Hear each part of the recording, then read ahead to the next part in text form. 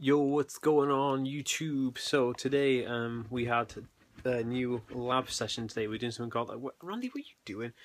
Um, we did something called um NM, uh, no uh, mass spectrometry, uh, which is like basically looking at different types of spectra data to determine like compounds of different elements and different species and things like that.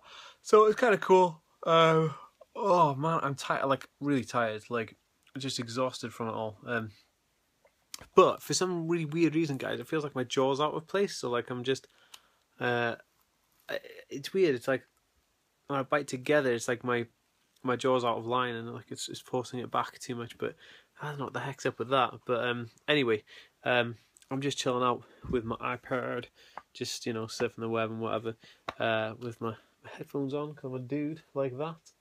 And uh, I'm I'm thinking about I want to watch this film called Citizenfour, which is about Ed Snowden.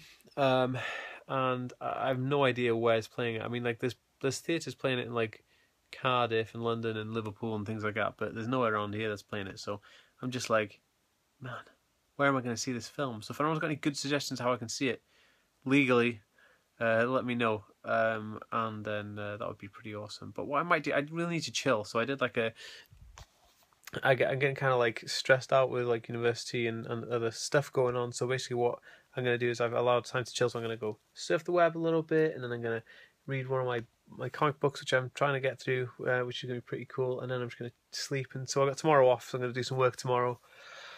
Oh god. Oh, and I've got to wrap um, a Christmas present for Naomi, which I can't show you because if she sees this, then it's gone, isn't it? This surprise is spoiled. So yeah. Anyway, I hope everyone's having a great uh, Monday, and uh, I will talk to you guys tomorrow or later on today.